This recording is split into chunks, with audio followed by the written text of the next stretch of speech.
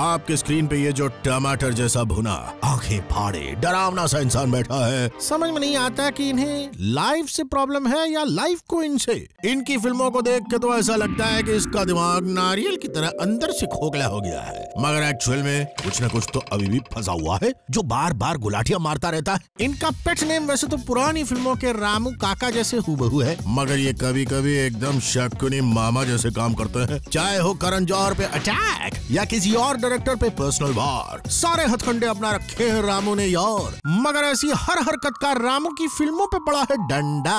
और शायद इसलिए इनकी फ़िल्मों का धंधा रहा है मंदा.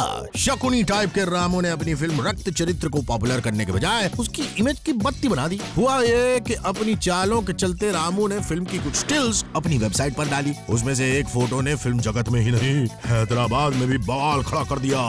कहते हैं आंध्रा के दो पावर स्टार्स की दुश्मनी की कहानी है रक्त चरित्र। और फ़ोटो में दिखाया गया कि एक पावर स्टार ने दूसरे को टकला कर दिया। और ऐसी फ़ोटो देखते ही इन दोनों के फैंस गुस्से में तम तमा उठे। मगर कहते हैं कि रामू ही एक ऐसे बंदे थे जो इस सारी कंट्रोवर्सी के बीच हंस रहे थे। मगर सैडली रामू का ये बैड पब्लिसिटी वाला दाव भी नहीं चला। और इस फ़िल्म ने ही नहीं, इसके प्री डिसाइडेड सीक्वल ने भी ऐसी धूल चटी कि अब तो लगता है रामू और उनकी अगली फ़िल्मों के ऊपर से धूल के बादल छटने वाले नहीं है। रक्त चरित्र का बवाल all at number 9 on Zabardast.